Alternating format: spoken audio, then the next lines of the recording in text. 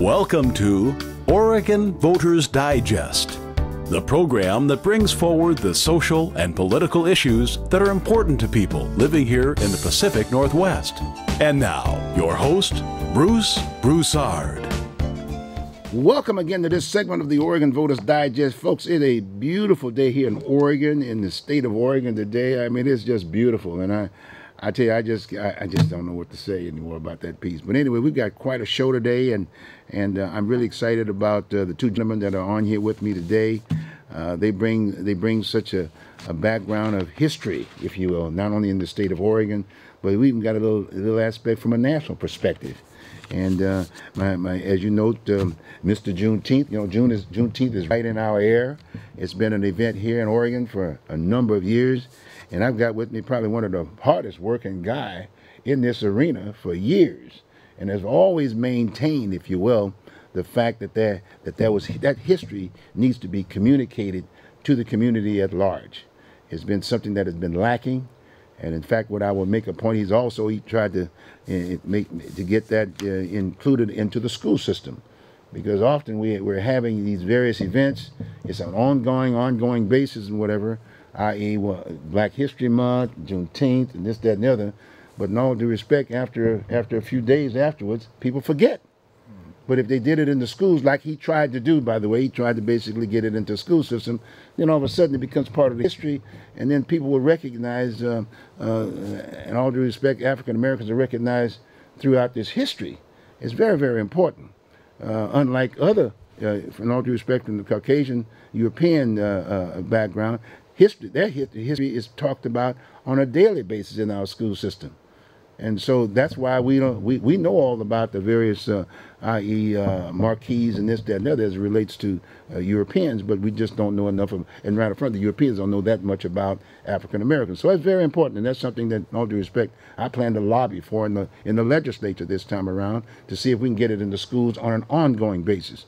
And in that way, you know, it's going to talk about inclusion because, as you know, we got the Alabama March right now. That's a big hi historical piece. We've got the whole issue with police and this, that, and the other. And it's always this black and white type situation. We've got to be talking about inclusion. And so I just wanted to make that little point on the front end of it to let you know why we're having this show today the way we're having it today. Again, like I said, we got Mr. Juneteenth here with us, and we got um, uh, another gentleman here, Jay Lynch Bay, who has a, also has a show here at uh, at Cable Access, and uh, it, it's it's called Moorish Vice. Voice. Voice. Moorish Voice. As a very interesting. The interesting about him, he comes from D.C and he's from D.C. And boy, I tell you, he's got some, he's got info about the. I mean, if, when you think about history of black folks, a lot of times you think about the South, but when you think about D.C., it's all, it's all total inclusion. I mean, you got folks across the board, if you will. And um, and I, the interesting thing about him, we're going to have something very interesting that we're going to throw an excerpt, if you will, of.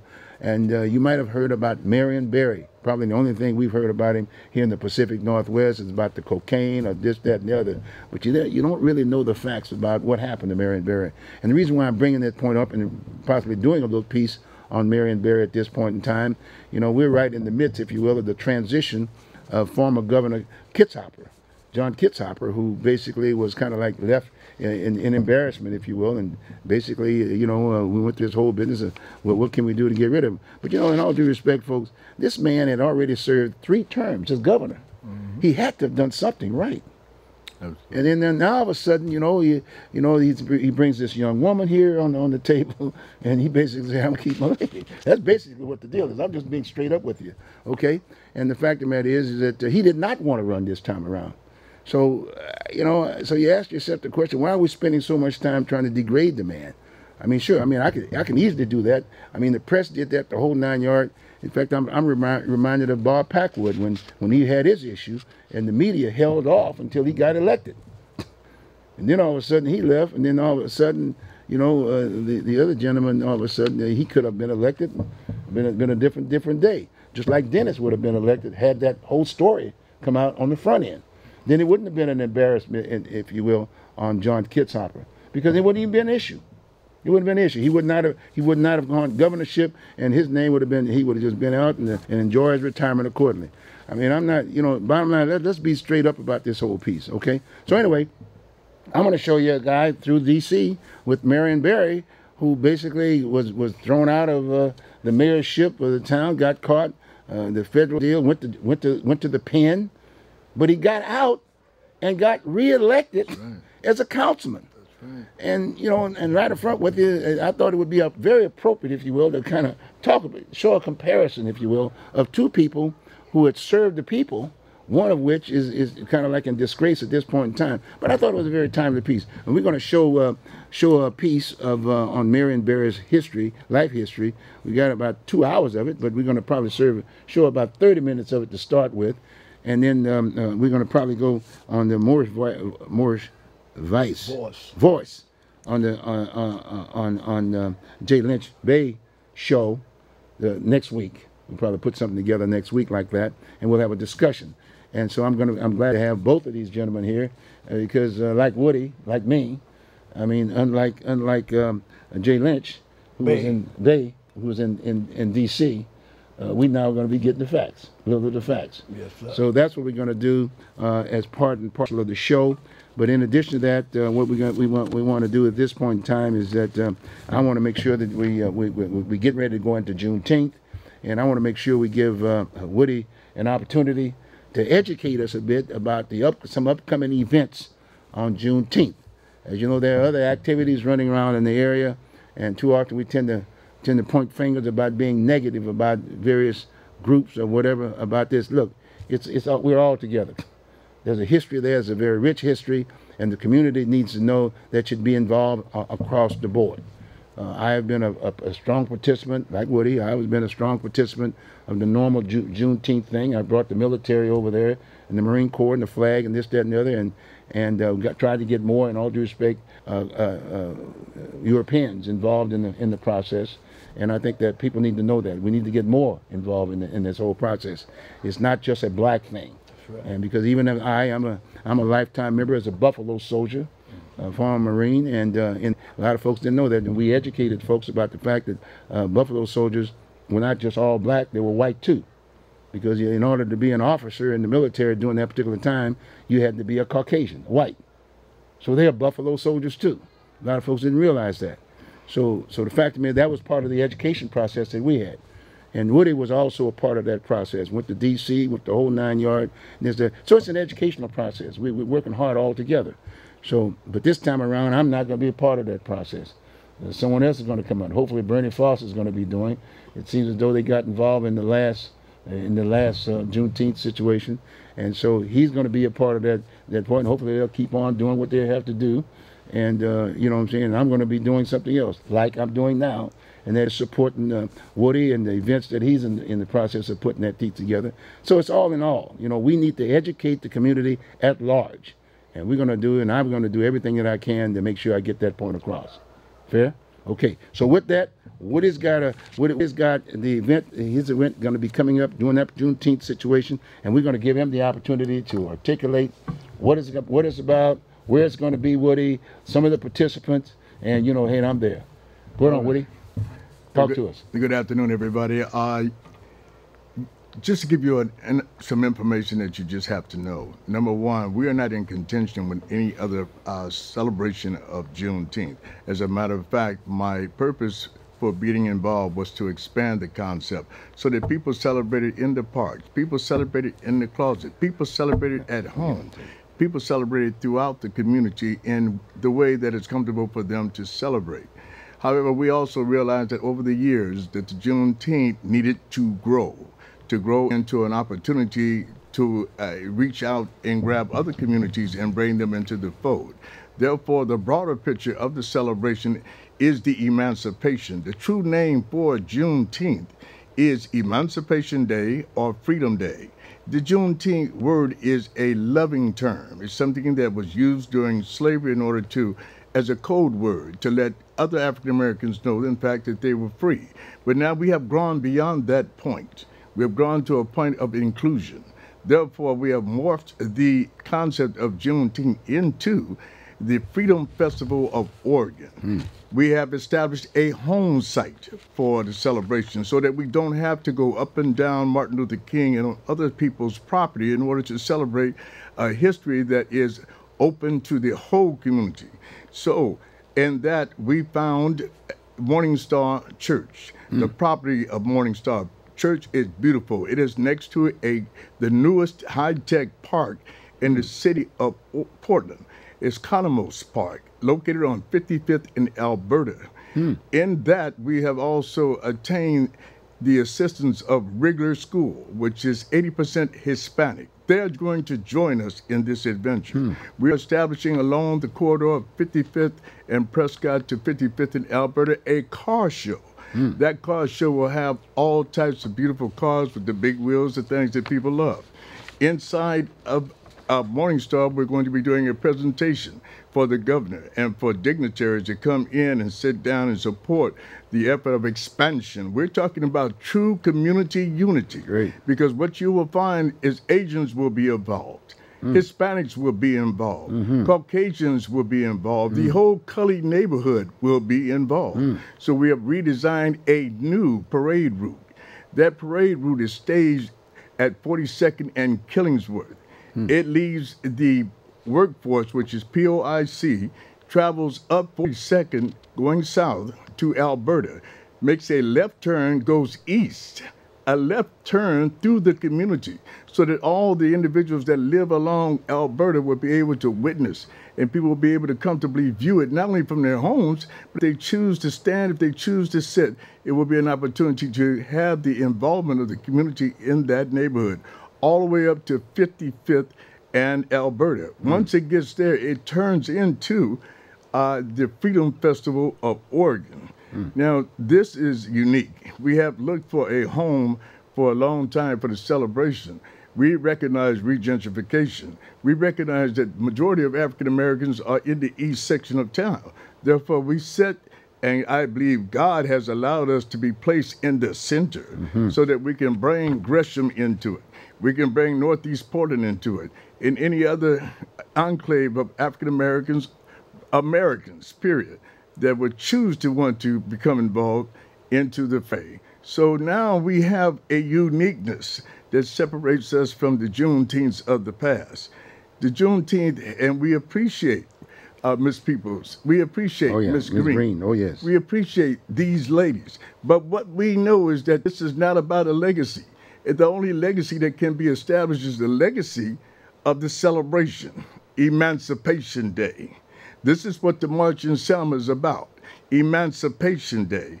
So if that is the forward push, then we are at the right time, at the right place, and time changed up an hour, so we're ahead of the fray.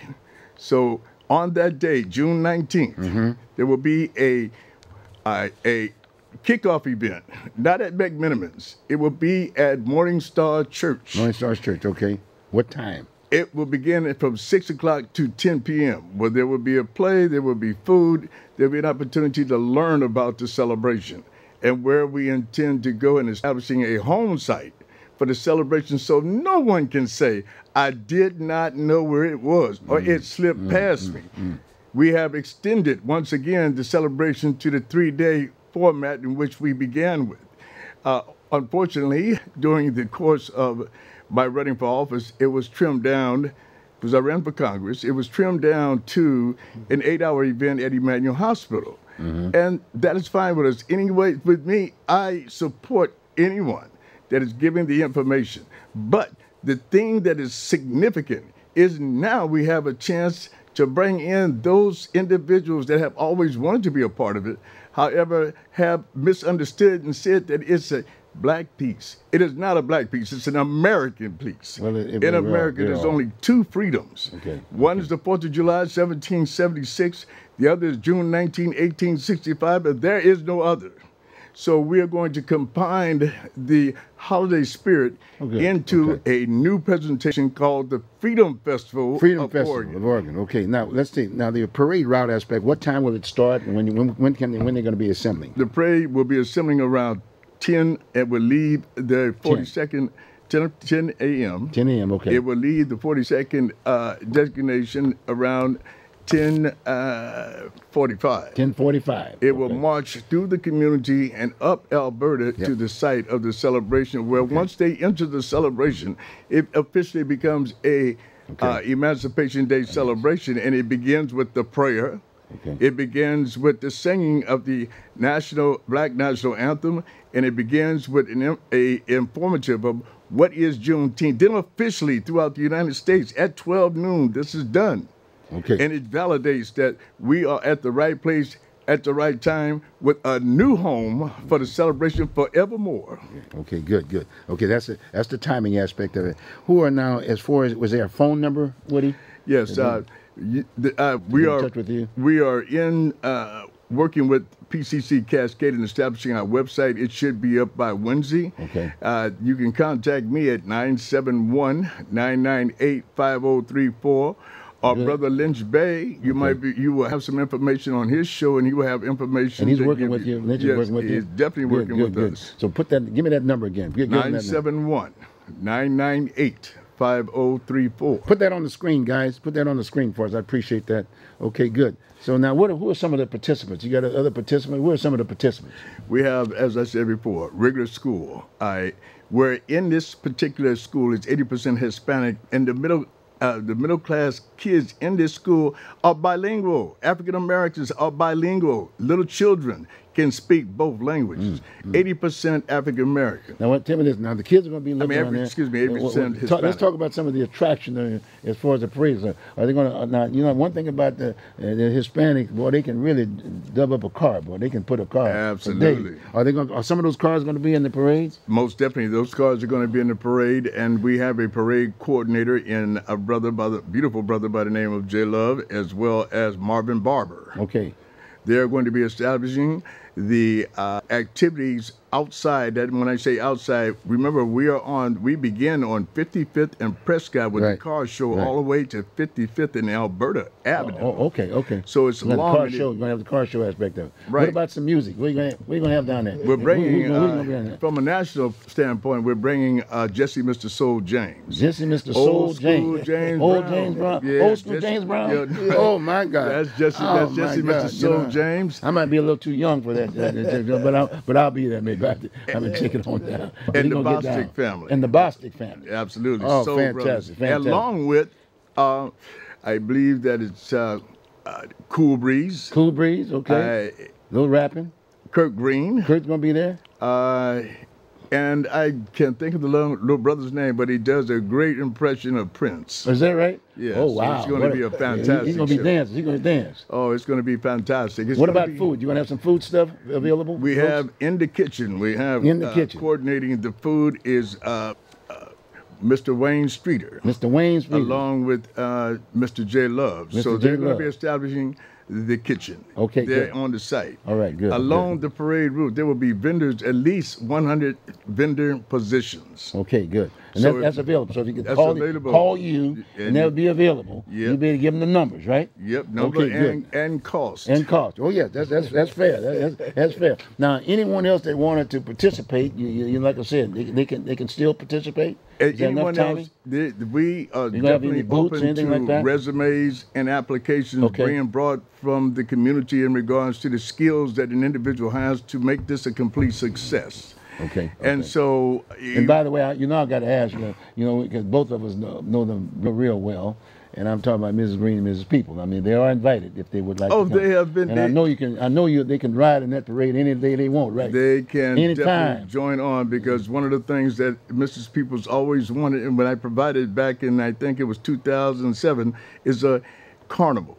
So we that. have the possibility of bringing a carnival You did that once event. before. You Yes, we you, did. You did that once before. I remember that. I remember that. So well, hey, yes, this is they're definitely, uh, they definitely have been extended. And you got Kurt. You already got Kurt there, so that, already gonna be no problem. I may have to just go on and in that parade myself. Oh, yeah, ab- absolutely. You, you Well, mind my welcome. With, with Buffalo recognize- Soldier uniform. We're gonna put that Buffalo Soldier uniform and maybe bring my Marines up there with that flag. There you go. Yep, we yeah. have, we realize this is election year. Oh, yeah, oh, yeah, And so, oh, yeah. having said that, those who are uh, running for office have an opportunity to gain the support of the Freedom Festival, and and as they come aboard, uh, we will extend certain uh, respective Sounds good. opportunities for Sounds them to speak Sounds good. Briefly. Sounds Sounds good. briefly, not for a long time. Briefly. Well, I'm a politician. I got to have more time. Yeah, yeah. so on I mean, Saturday, I'm just like you. You, you, gonna, you we gonna take the whole time. you. Saturday is the big day. Saturday is the day that we're rocking, we cooking, Okay, all we right, smoking, all right, all right. and we enjoying Well, I tell you what. I tell you what. I will. I will invite, if you will, the chairman of the Republican Party to be a part of. Now, Absolutely. I'm, I'm throwing out that invitation to the Democratic chair. Absolutely. And ho- hopefully, Bob Williams can, might be able to contact the Democratic Party chair and have them part of the part of the parade. W- would that be okay? Absolutely. This is going to be the largest celebration Okay, in the state of Oregon Okay. and with a crossover piece that is Yes. the forward move forwardness of the celebration. Sounds great. Sounds great. Okay. Wait, this is be great. And then this is what, day is that now? That's June 19th. June is the 19th. kickoff. So we're gonna have more time to, to announce this again. Right. Right. Okay. June 20th is the the the piece that everyone is looking for, the fun, the love, the Oh, I food. heard that. I heard that. I heard- Sunday I is to go out there. June the 21st, and that is Jubilee. I heard that. I There will be that. churches out there on the on the site. There will be the Morris brothers in the event. There will be Islam in the event, and every denomination that recognizes that God is in the center of the Freedom Festival Sounds will good. be there. And folks, and uh, music. And oh folks, Lord. And folks, as I indicated before, uh, this is one of the hardest working men running around here, keeping that date alive. Thank He you. really have. I mean, I know that has some. It might he has some little bumps and whatever, but in all due respect, just like we're getting ready to look at Marion Barry, you know, he he has some bumps, and then he brushed himself off and came right back to the table. That's right. And this guess is- who- and this is what guess this who's man is Grand saying. Marshal? Who's gonna be? Who Larry got? Matthews. Oh, you gotta be kidding. He's coming here from Alabama to be in the Juneteenth gotta be parade. I mean, the Emancipation Day You got to be kidding. Larry Matthews. Larry Matthews. Oh wow, that's going to be huge. Well, hey, we're going to do something. In, in fact, if he gets here a little early, maybe a day or so, maybe that Sunday or whatever, we'll, we'll have him on the show. A week early, A he's week- coming in. Or if he comes a week and all, why don't you just schedule that for the will. Sunday before? I'll talk okay, to him. we'll put something together. Okay, good, good job, buddy. Thank you. Okay, what we're going to do? We're going to take a short break, and hopefully you can stick around and look at this this piece. You Oh, I'd love to. I love to. I love history. Okay, good. We're going to take a short break, folks, so we can make sure we can play as much as we can of that tape, and uh, then we'll be right back with you. Okay? Can we do that, guys? We'll just take a short break. Sounds great. Okay, looking good. All right, we'll be right back with you.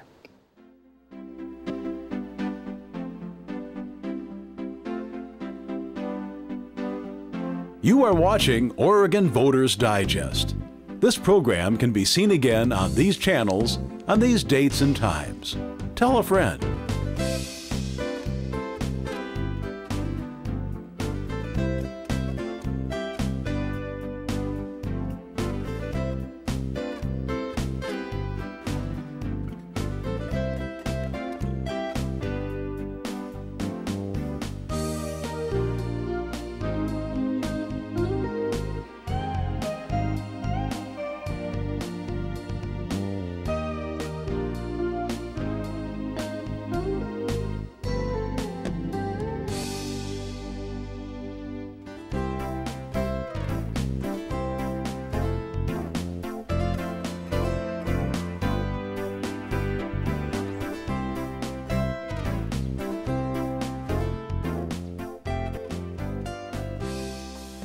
Back, folks. Hey, you're back, and and hey, you got the first half. If you haven't, you know you can check it out on YouTube. The address is already there.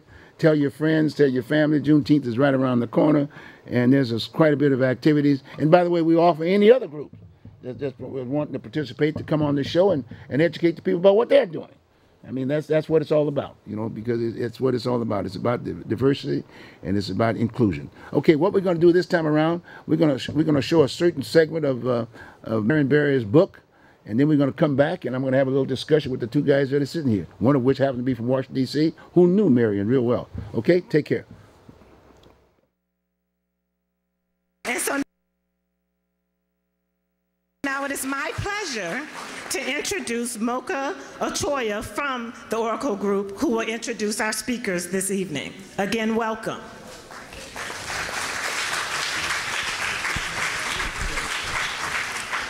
Hi, thank you so much for coming out in this weather, DC, to receive our mayor for life, right? All right. Okay, so as he takes the stage, I don't want him standing for too long. I'll just read a little bit of his bio here. It's Marion Barry Jr. Wait, but first, first, before I say that, I'd like to thank the library system, DC Library System. Thank you for always being such a great partner in putting and helping us put together diverse events like this. So much love to the DC Library System. So um, Marion Barry Jr. is a former four-term mayor of Washington, D.C. He has dedicated 40 years of his life to public service, living by the motto, always fighting for the people, the son of a sharecropper and born in Mississippi. He joined the civil rights movement and was elected the first chairman of the Student Nonviolent Coordinating Committee. His elected career in Washington, D.C. has spanned from 1971 to the present.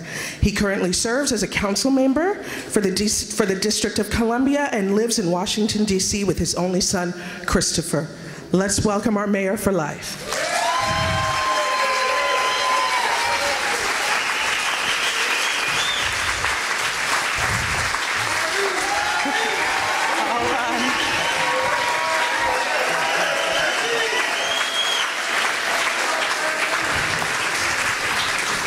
Right, all right. And his wonderful co author, Mr. Omar Tyree, who almost needs no introduction, but I'm going to tell you a little bit about him.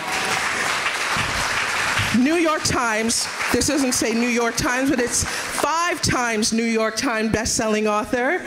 Omar Tyree is the winner of the 2001 NAACP Image Award for Outstanding Literary Work, Fiction, and the 2006 Phillis Wheatley Literary Award for Body of Work in Urban Fiction. He has published more than 20 books on African American people and culture, including five New York Times bestselling novels. He is a popular national speaker, a strong advocate of urban literacy, born and raised in Philadelphia. He lives in Charlotte. North Carolina. You can learn more about him at omartyree.com. Warm DC welcome.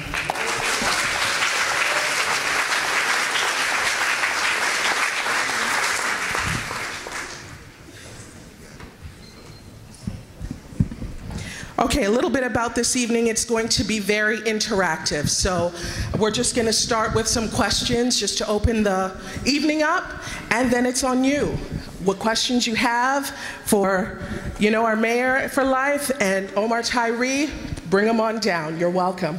Is that all right? Okay. Okay, well, welcome.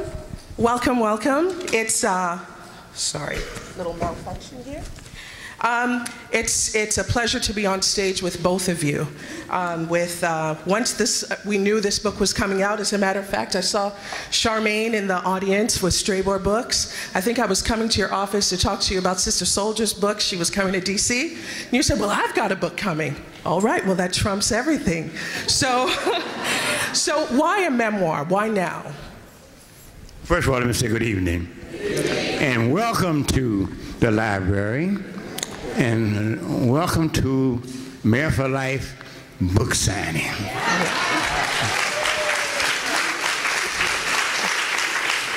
Let me tell you a little story about that. Uh, Ken Cummins, who was loose lips at City Paper, he used to be kind of innovative.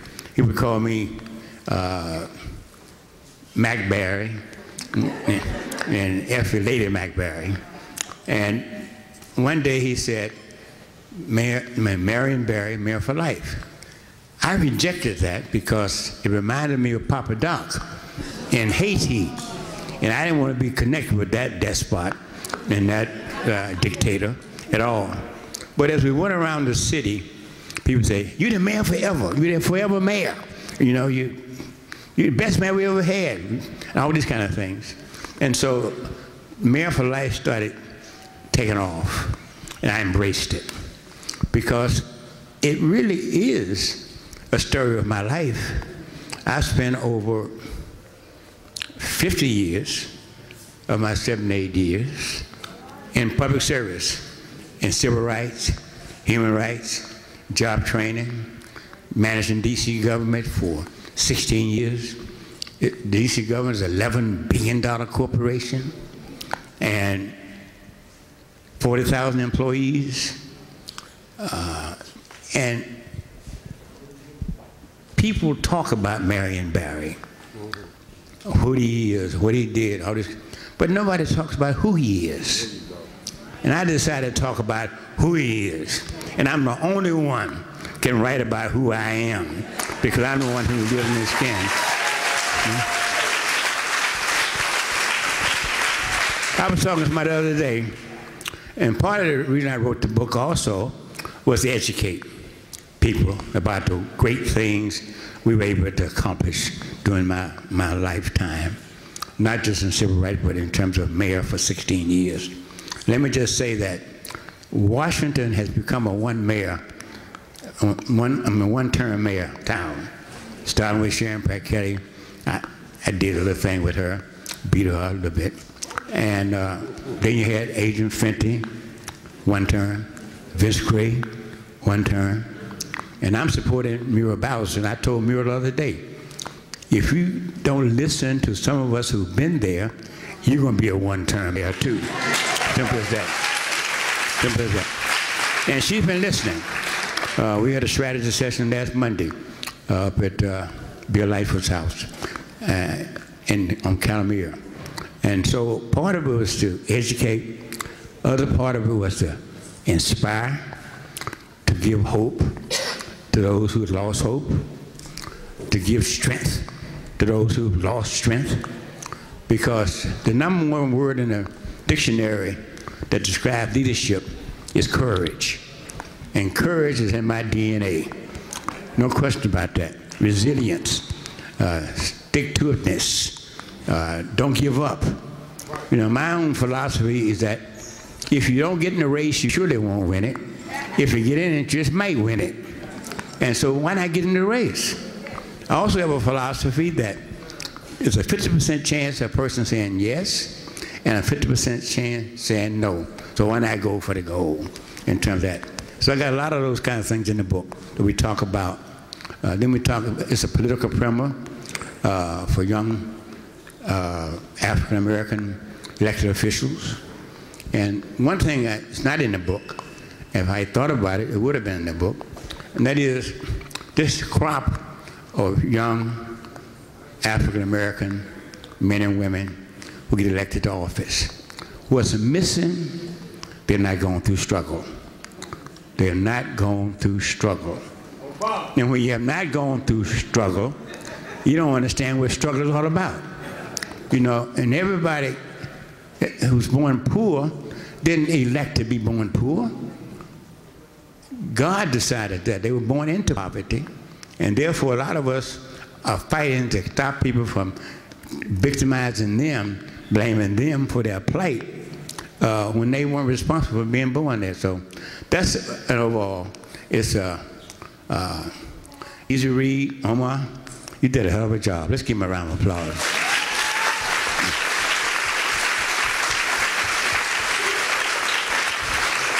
And Omar is a fiction writer, which means he can put life to things that don't have much life in them. But he also tends to go beyond that sometimes. And a couple of times, I, not more than a couple, maybe a dozen times, I said, Omar, you can't write that. I to live in this town after you, I get my book out. I can't do all that. I tell it, tell this point up to this point. The book is also honest. It's a truthful book. Some people say it's too truthful. There's no such thing as being too truthful. Truth is truth. Dr. King said, truth crushed to the ground shall rise again. And I'll tell a story, a little bit of it's in the book, the, the how I came to the truth situation. When I was growing up in Memphis, my mother, let me talk a little bit about my beginnings. People don't understand what a shotgun house is. It's a house that if you shoot a shotgun through it, it goes straight through to the back. And it didn't have any electricity, didn't have any running water. We used kerosene lamps and candles. Had a tin roof.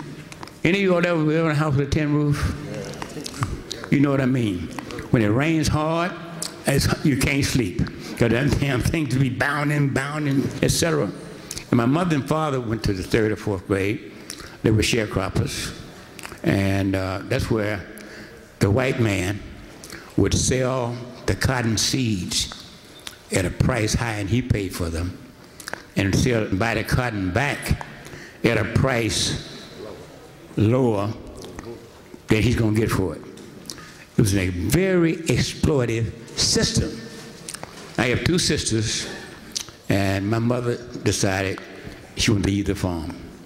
My grandmother had already gone to Chicago because we had a great black migration where millions of, of, of black Americans uh, went to Chicago, Detroit, and, and out looking for freedom. They didn't find it, but they went there. They didn't. And so my mother decided, I'm tired of having babies. I'm tired of working 10 hours a day. And I'm tired of picking two or 300 pounds of cotton. She could pick about 300, 350. Can you imagine that? 350 pounds of cotton in one day? That's a hell of a picker. She had two, two cotton sacks, and she was going from side to side. Not that. And my grandmother had already gone to Chicago because she was born in Mississippi also. And she sent my mother Greyhound bus fare for me and one of my sisters, because my other sister, older sister, was already up there.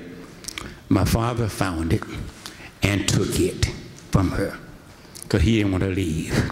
He was wedded to that miserable life, I guess. And so I grew up without a natural father in my house. I had some good stepfathers, but not a natural father. So I can identify with a lot of you guys out here that don't have a natural father in the house. And uh, he around in some white person's kitchen to try to uh, get enough money to go across the river to West Helena, Arkansas, where we had an uncle, Walter Towns, who worked at the lumber company. And she scuffled around again, some white folks' kitchen, and etc. It was hard work, and got to Memphis. We had relatives there, and we, and there we got stuck in Memphis. I'm not so sure I could have survived Chicago. I'm not so sure about that. And so that's the beginning of the tough struggle I had. If you've not been poor, you can identify with it up here, but you can't identify with it in here. I mean, being poor, and I can, I can use it in the library, being poor is a bitch, I tell you. Hope you understand. I'm not being down women because I had 50% of my cabinet were female in my administration. So don't go get carried away. And one other final thing, then we get back to questions. We have a lot of Barry haters in the press. And a lot of them work at the Washington Post. We have Barry haters at the Washington Post who didn't even read the book Right. and wrote a book review on it. I, I, I don't do that. Read what somebody else said and took that. That's not good journalism, is it? That's, that's BS, that's what it is. So that's the beginning of it all. I'm having a good time uh, with the book. I'm going to do a, a lot of book signings in Washington. Uh, we should have launched it in Washington, but I wasn't in charge of that. We launched it in New York. And so, uh, thank you all again for coming. And we may run out of books, I don't know. I, I hope we do.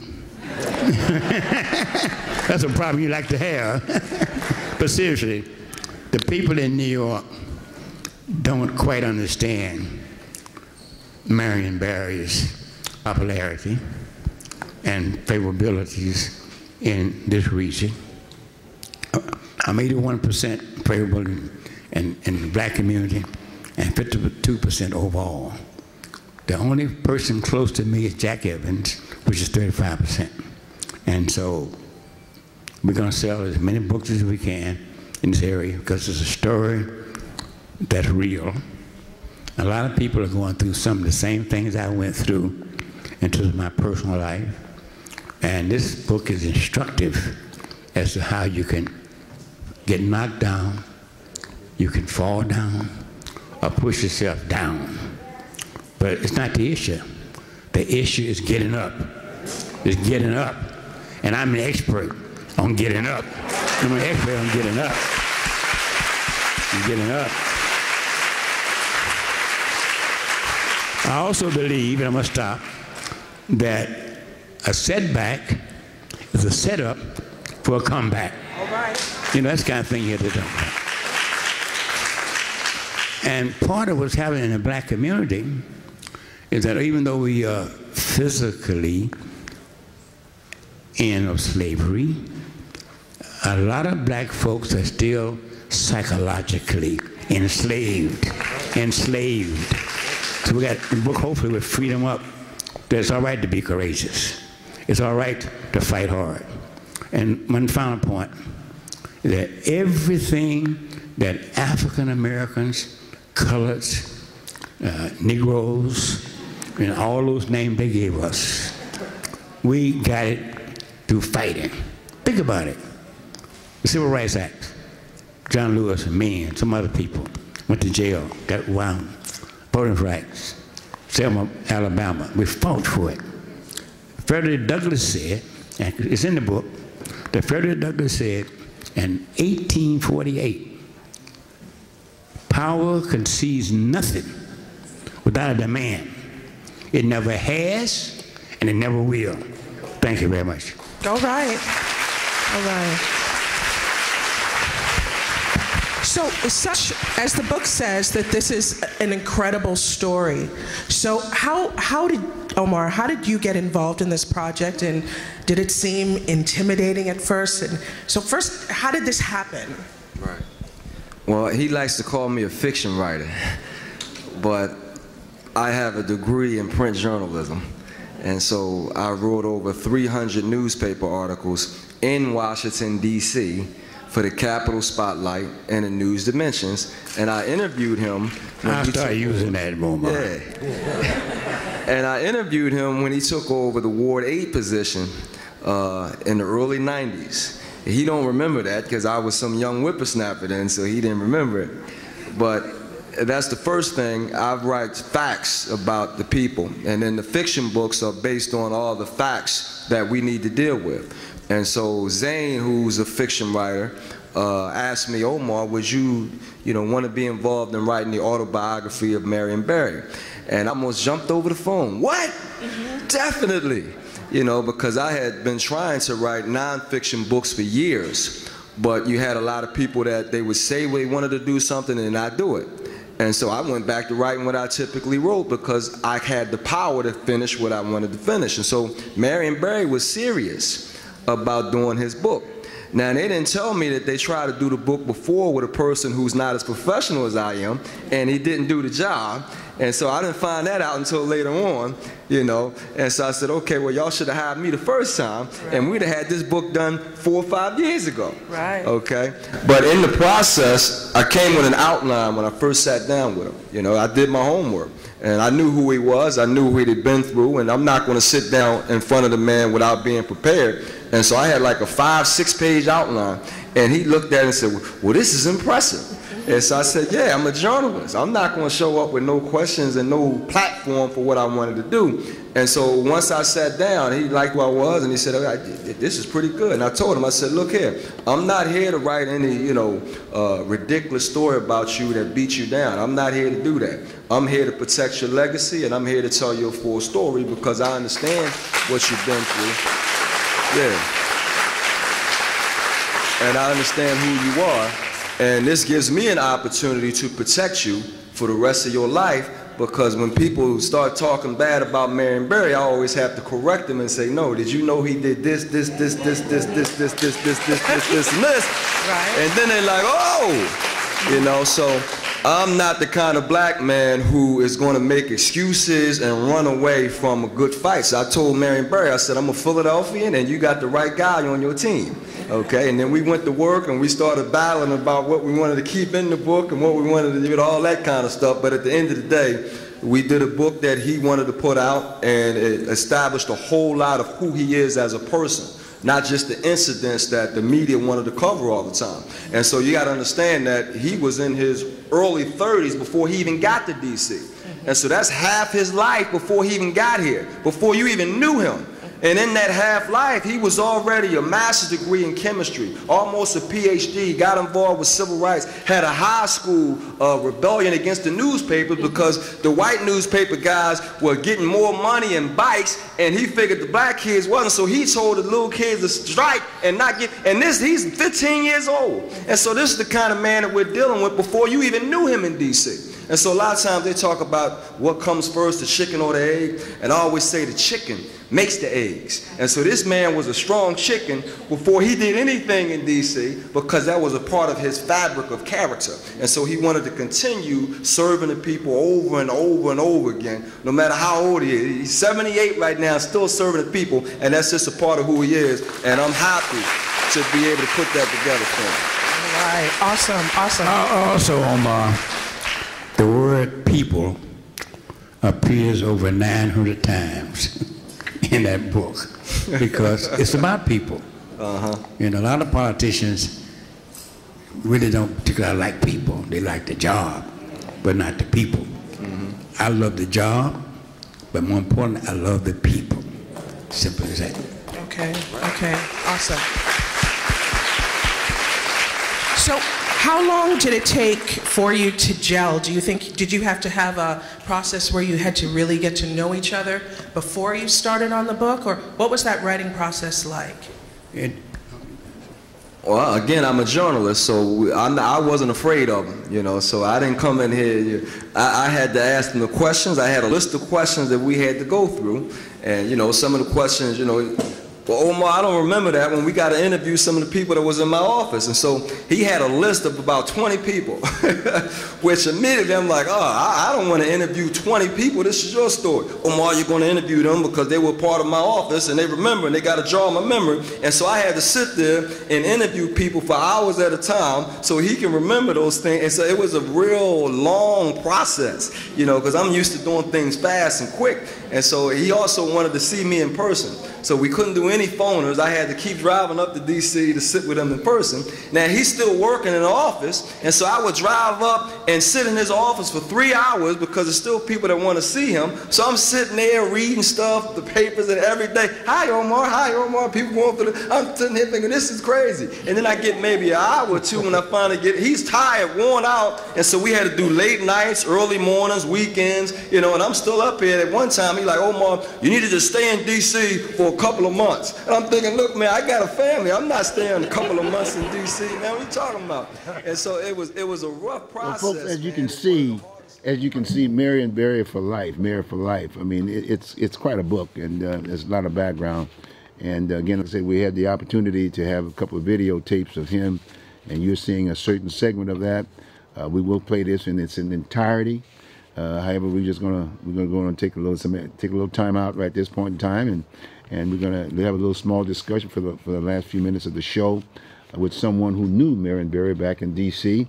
And I'm talking about uh, um, uh, Lynch Bay, and we're gonna spend a little time with him. So Lynch, what do you, what do you think? Let's talk, talk a little bit about some of the things uh, Uh, you first knew off, I, I I lived in Marion Barry's Ward. I lived in Ward 8. Okay, Um, I just put a calendar out. Okay, And the calendar I put out uh, had Marion Barry with our leader in there. Mm-hmm. Because the way that we got our property was uh, uh, through Marion Barry. He helped us. Uh, when Marion Barry got locked up Mm-hmm. for the drugs, he didn't go see the girl for drugs. Mm-hmm. He went to see her for something else, but they wanted to set him up. Mm-hmm. But the reason why we call him Mayor for Life, if it wasn't for Marion Barry, the youth programs, etc., would never existed. The way that people are living now in Washington D.C. was because of Marion Barry. Now a lot of us are not concerned about his personal life mm-hmm. because the highest heights are gained by those who reach the greatest depth. Sometimes you got to go to your lowest to gain your highest. Mm-hmm. But the work that this brother did in Washington D.C. and is still doing, mm-hmm. if he wouldn't have been there, Washington D.C. right now would be still like Portland, Oregon. Hmm. What I mean by Portland, Oregon, uh, we just had uh, election not too long ago, and you are the only person. You and this man here are the only uh, people, uh, Asiatic people of African descent, that talked about voting. And what I'm happy about sitting with the both of you is I'm gonna show you some of Murray's methods of application. What we're gonna do here in Portland, Oregon. Don't say it. Don't tell everybody. I'm not gonna tell everybody, but I'm gonna tell it to y'all. Let's, let's slow down. Not right now. We on TV now. We want to hold We that. go. bit. No, I'm not gonna tell them that part. Okay. All right. All right. Okay. But we're gonna back the buses up. Okay. Okay. And we're gonna put those of African descent and those who support whatever official that we have there. That's what you guys are We'll doing. back buses up, Okay. load them up, Mm-hmm. and take them to the poll. I hear you. Now the reason why Marion Barry, once he came home, and uh, he ran for office again, and the reason why he won mm-hmm. is because what he did in the city.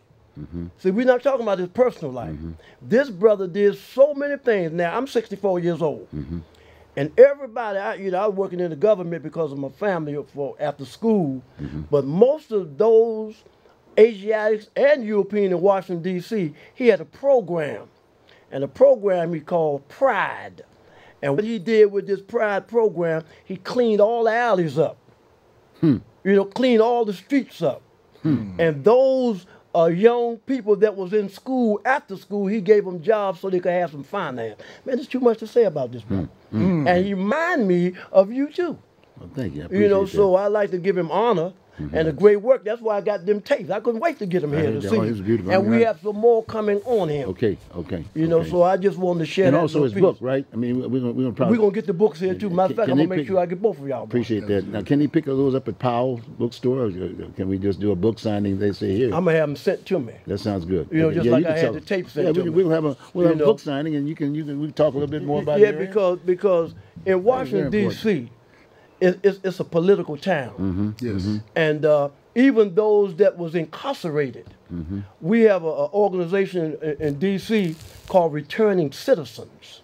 Citizens, you know, Returning Citizens. not ex-cons. No, not, not ex-cons. Citizens. Returning citizens. Okay. Amazing. And all of the returning, I don't care what their past was, Right. what kind of record they have, Right. they can vote. Right. Absolutely. Wow. They go down to the poll and vote because they're free. Yes, You know, they're no right. longer locked up. Right. Why keep holding someone Right. Mm-hmm. for what they did in the past? Man can grow. Man can be born again. Being born again means changing your thought pattern. Mm-hmm. That's right. And that brother Marion Barr, he's a, that's why we call him Mad for Life Yes. because he ran Washington D.C. Wow. You know, uh, we had a uh, we went before city council in Washington D.C. and Marion Barr set it up for the returning of citizens. You know, and uh, we went there and, and it was successful. And you look at the polls in Washington D.C. I mean, it's three or four blocks long. You know, people is in line, get up Hmm. Waiting six or seven, waiting to go in there to vote. And that's what we have to do here. There's only 2% of us here Mm-hmm. of, of African descent. But that's what we have to do. This is what y'all are doing. Mm-hmm. We have to wake the people up. That's right. Politically. That's right. Not just religiously, socially, and economically. We got to wake up politically. Mm-hmm. And that's why I'm so honored to be able to sit in the presence of these two political figures. Well, we really appreciate it. In fact, we appreciate the fact that you're now living and residing in the state of Oregon. That's right. And um, and, and in all due respect, it, uh, again, you know, we, we call it a, kind of a major white city, but in all due respect, it's a citizen city made up of many Americans, some of which happens to be African Americans, Asians, Black. We, we got to have that inclusion, and that's one of the Absolutely. reasons why I've got uh, I've got Woody here because he's been fighting for a long time. I've been kind of like in the same boat to a certain degree. And uh, it's, it, a lot of times when you get that small numbers, everybody's fighting, you know, like a bunch of crabs, you know, in a, in a, in a bucket, if you will. You understand what I'm saying? And then, one, yeah, once you get up there a little bit, you know, someone else will pay them to go and pull you back. That's right. And You that's know, really met what's him. happening. Mm-hmm. I met him because after Juneteenth last year, I said, "Man, I want to get involved in this. Yes, right, I said right. because I, you know, I, I, I see what was taking place, and we just had like five or six cars. Mm-hmm, You know, I said this year coming up, and I didn't have to say anything, but he came in with the freedom, with the freedom march, Wow. and I honor it. and I'm happy to Well, be I, I appreciate that. And, Yes, sir. and what it knows, I, you know, sure, I'm a registered Republican, but one of the main reasons why I'm a registered Republican is to the history of black folks. Lincoln, Lincoln, the Emancipation Proclamation. Now we can build on that. You know, in all, in all due respect, when I when I hear about the D- Democrats uh, during those, those days, they were Klansmen. And a lot of folks don't understand that history. But for some strange reason, as black folks, we just all jump into the bag of Democrats without even questioning that history. Mm-hmm. And it's just a respect. And I realize I see all of the, the, the negativism with, with, a, with a number of those Republicans that are sitting up here now about the, you know, this, this, that, and the other. But that's just a few as far as I'm concerned. I know who I am. Mm-hmm. and that's a very important piece. But I can cite the same thing on the D side, you know. So, so the bottom line, we got to get down to the point where we are inclusive. We ain't That's going right. anywhere. We're not going anywhere. I'm not going anywhere. Anybody? I don't know. We're not going nowhere. We we are somebody, and and I think there's a movement here at this point in You know, I signed up as Democrat. That's right. Right. And I signed up at this because I remember the debates of uh, Right. Lincoln and Douglas. Right. Right. And I know some of the things like Abraham Lincoln named after his uh his, his grandfather. Right, right. His grandmother's name is Bathsheba. Yes. You know, his sister's name is Yes, Sarah. yes. You know, we know the history of him. Right. But when John Ware Booth, Yes. you know, killed him. Yes. You know, that was the thought of the Republican Party. Yeah, it wasn't oh, the Democratic yeah. Party. Yeah, yeah, yeah, And yeah. once uh, he died, then that thought that he had, because Mm-hmm. he said, I free the, if I have to free the slaves to save the Union, I would do that. That was a different thought pattern. Mm-hmm. Yeah, right, right, So exactly. whatever you're trying to do, Right. because in our organization, we have brothers that Democrats, And- we have brothers that Republicans, we have brothers that what, you, you see? So if you're trying to do something in this town, whatever it is, I'm going to give you my full Right, support. right, right, and right. get out here, like Right. like what I'm working with him Right, now. oh yeah, oh yeah, we oh yeah, getting into oh the community Yes. and the grassroots and let the people know. It's very- so whatever very I can do to represent you, because I don't see nobody else talking about politics. Okay. So I don't care if it's Democrat, but whatever you're doing, we're gonna back them buses up. Okay, I appreciate that. Well, hey, I'm sure you enjoyed the show. You got about another minute. Another quick announcement. You said you guys are having meetings, Woody? Yeah, we Where- have meetings uh, at St. Jude's, located on 55th and Prescott, It's sitting right quick, on the corner real across quick. from Rigler school at 10 a.m. every week, every Thursday. every Thursday. and we'll double up when we get into Okay. April. Sounds great. Well, folks, there you are. There's the show, and we're going to continue with this show uh, probably the next round, if not Yes, that, uh, or, or the round afterwards. But as you know, I never announce anything. I mean, you, what you see, what you get. Okay, and I try to give you a real good show. Okay, with that, take care. Have a good evening, and we appreciate it very much that um, you, you you you that you were with us and you you were able to look at some of the facts and uh, and again, like I said, I sort of I sort of compared that with uh, uh, the the time that John Kitzhaber spent. He spent three terms. The man had to have done something good, at least doing that three terms. He got caught up in a situation that, as far as I'm concerned, I have my reservations about that because we're right in the middle of politics, right, right in the middle of politics, and so and he was a Democrat. But, but the fact of the matter is, but he stayed there three months. I, I've got my own version in terms of how I think what ha- what really happened, but we'll get it another point in time. Yes, and sir. by the way, you got two veterans here too. Yeah, yeah. He's another veteran Vietnam over here, veteran. Vietnam vet. Yeah, Right, right. Vietnam vet. I'm a Vietnam vet. By the way, go out for your benefits. Call somebody. Get down. Get to work. Hey, have a good one. I'll see you next week. Take care. Have a good one. Bye.